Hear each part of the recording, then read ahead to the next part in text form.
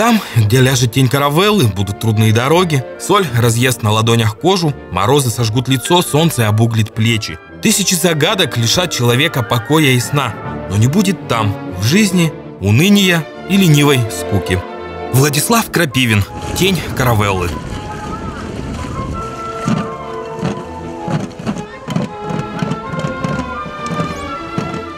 Владислав Петрович Крапивин. Из просто известного писателя он уже давно стал легендарным. Но для своих родных каравелловцев он был и есть командор. Человек, который 55 лет назад создал место, где есть настоящее детство.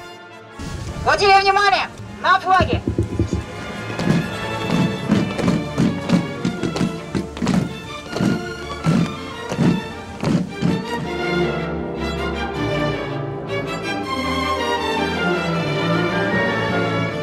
Вы не обижаетесь, что я говорю сидя, потому что за 55 лет я уже столько настоялся. Все 55 лет в отряде что-нибудь ломалось и разлаживалось. Микрофоны отказывали, кинома, кинокамеры отключали, вот, там, лодочные моторы это. И тем не менее отряд жил, несмотря ни на что. Все начиналось с детской мечты о море, кораблях, приключениях и битвах с пиратами. Ребятня превратила обычный чердак уктузского барака в корабль «Бандерилья». В доме жил юный выпускник журфака Слава Крапивин. Он и стал капитаном. 2 июля 1961 года в бортовом журнале мальчишки сделали первую запись. Теперь этот день считается днем рождения отряда «Каравелла».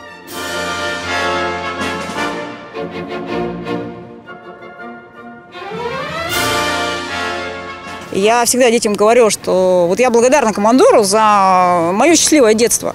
А, потому что это, это ощущение было, оно есть, оно вот присутствует и до сих пор меня греет, когда я об этом вспоминаю. Когда ты такой вот маленький, легкий, когда ты бежишь по лугу, да, и чувствуешь вот ну, траву, и ты себя ощущаешь частью этой природы. И благодаря каравелле ты ощущаешь частью этой природы через соприкосновение с яхтой, соприкосновение со шкотами, а, связь с другими ребятами. А, и вот это очень здорово.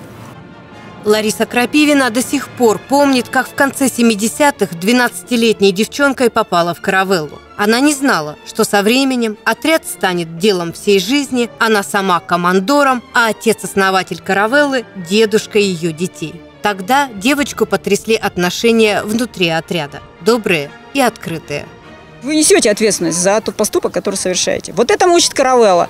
И вы знаете, вот в этом, наверное, ну, для меня, по крайней мере, было принципиальное отличие от э, школьного коллектива где в большинстве случаев, вот в таких вот спорных ситуациях, я видела, что доминируют э, законы стаи, законы толпы, э, а не законы товарищества, не законы дружбы. Если люди дружат, они становятся сильнее, они могут спорить и бороться, как герои книги «Дети синего фламинго».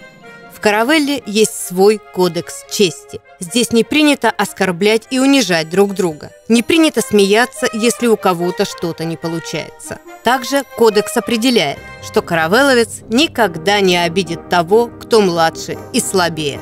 Он должен быть э, доброжелательным и ответственным. Ну, по крайней мере, это самое главное качество. У тебя получается? Да. Думаю, да. По мере пребывания в отряде у меня начало собственное мнение появляться. Вот. Ну. А до этого считаешь, что виноват? До этого как-то, да, я то ли стеснялся, то ли боялся сказать вообще что-то учителям тем же.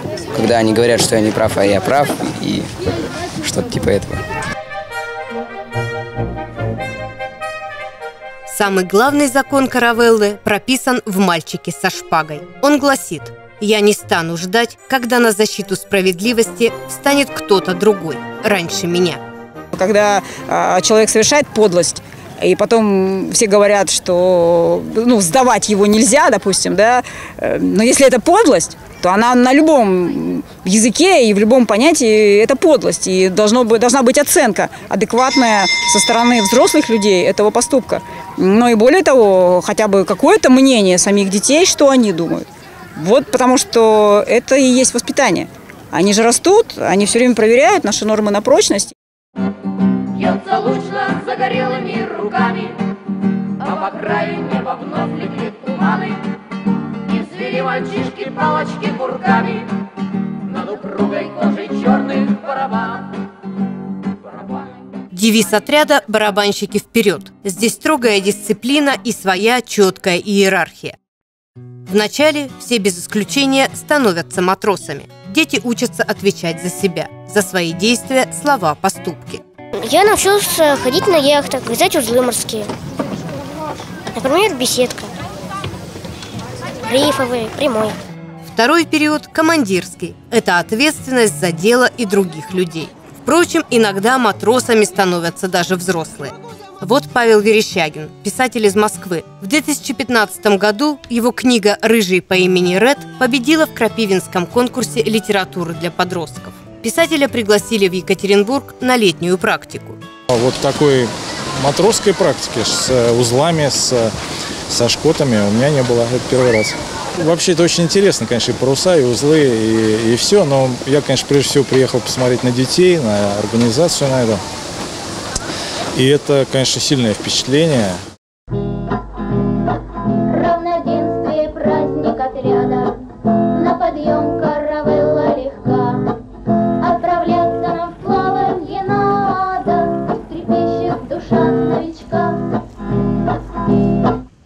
Господи, как, как же я рад видеть вас всех. Какие вы все храбрые, красивые, замечательные, настоящие морские орлята. Честное слово, сердце радуется. Сейчас состав флотилии 36 судов. Одномачтовые, двухмачтовые. Некоторые приобретали, но большинство яхт ребята строили сами. Ну, если говорить про вот эти яхты, которые у нас за спиной, то я, пожалуй, не участвовала в строительстве только пяти из них. А все остальные были уже при моем непосредственном участии построены. Однако ни на одной из построенных своими руками яхт Даша на воду не выходила. Оставалась верна своей любимой яхте «Полюс». Он был построен еще в 70-х годах, задолго до Дашиного рождения. Поэтому для меня все яхты, которые были построены позже, но это были такие немного салаги, и мне казалось, что они все несовершенные, потому что по сравнению с полюсом они были не очень. Но на самом деле, уже став старше, я понимаю, что многие яхты из тех, которые были построены в моем детстве, они действительно очень хорошие, и как-то к ним я уже испытываю теплые чувства. Много всего пришлось пережить Каравелле, но она не была бы собой, если б не справилась с трудностями. На командорство Владислава Крапивина пришлись так называемые годы застоя. Когда не принимали, не понимали, подозревали, задавали там разные непонятные вопросы. Ну, действительно было людям неясно, почему это вдруг на общественных началах какой-то там писатель собрал детей, что он с этого имеет, а ничего не имеет, еще и сам, значит, гонорары получает, в это все, значит, вкладывает. Но Крапивин не сдавался, не опускал руки. Он знал, что прав. Учись летать высоко и смело. Ты сумеешь. И он сумел. Став командором, в переломные 90-е Лариса тоже сумела отстоять отряд. Человек состоялся только тогда, и его миссия действительно реальная, когда он что-то что начинает делать для людей, а не для себя любимого. За 55 лет через отряд прошли более 15 тысяч мальчишек и девчонок. Они выросли, и каждый пошел своей дорогой. На мой взгляд, э, главное ведь не то, чтобы пошли обязательно в моряки или там журналисты по нашим там основным профилям. Главное, чтобы человек был порядочный. А уже куда его сердце позовет, может, он будет классным поваром и будет нас всех кормить в своем собственном ресторане. Почему нет? Это тоже великая миссия и задача. Главная миссия – просто быть человеком. Всегда, в любой ситуации. Известный журналист Вероника Куцелла работала в Кремлевском, еще Ельцинском пуле. Закалка каравеллы помогла ей. Счастливое детство, стойкость, смелость. Никогда не сдаваться. Всегда, никогда не предавать никого. Всегда пытаться добиваться того, что ты считаешь правильным. Все оттуда. Сейчас в Каравелле сын Вероники. Он уже шестой год приезжает в Екатеринбург на летнюю практику. Для меня лично самое сложное – это вырезаться на бой, потому что это не всегда получается правильно. Вода, пусть и не морская, яхты и паруса требуют от ребят быть честными. Здесь ничего невозможно скрыть, притвориться. В каравелле всех выведут на чистую воду. И ребята меняются, взрослеют прямо на глазах. Мама Егора признается, что у сына были проблемы в школьном коллективе, и она боялась, что здесь случится то же самое. Я просто держала вот так пальцы день, второй, третий, когда начнутся эти проблемы, которые с время начинались. Они не начались, и с каждым просто днем, утром ушел, вечером вернулся, какой-то более смелый, более уверенный в себе, более счастливый. Так? Да. Не обманываю. Летом Верхосетское море, труд и романтик. Зимой теоретические занятия, журналистика и фехтование. Эти ребята не только морские орлята, но и настоящие мушкетеры. Только не королевские, а крапивинские. Шпоры,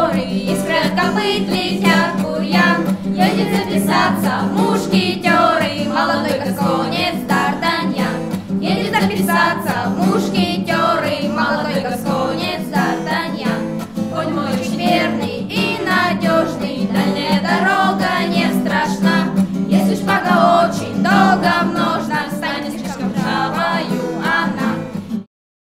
Один за всех и, все за одного!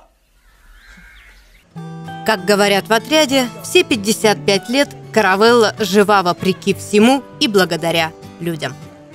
И сегодня я и Мичка, и верный Мичка, который много-много-много лет живет со мной и в отряде, поздравляю вас с этим праздником.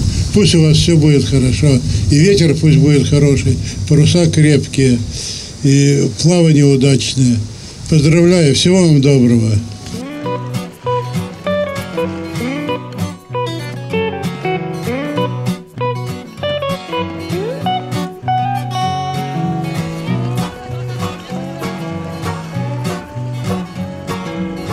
Мне тут очень нравится. Тут интересно ходить на яхту. Если бывает в школе, ну, то сильный крен, и мы мог накинуться. Ну, это прикольно. Страшно же. Нет.